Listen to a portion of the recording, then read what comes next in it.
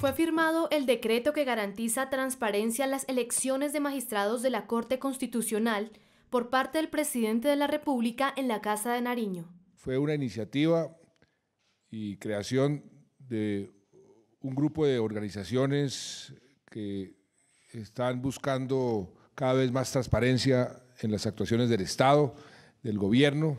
Horas antes, el jefe de Estado en Envigado, Antioquia, llevó a cabo la celebración del Día E, decretado para mejorar la calidad de la educación con la firma del acuerdo por la excelencia educativa en todos los colegios del país. Este día de hoy, el día E, educación, excelencia y esperanza, es un, un día que para nosotros todos lo vamos a tener que recordar muchísimo y utilizarlo para multiplicar la, concientización del país sobre la importancia de la educación.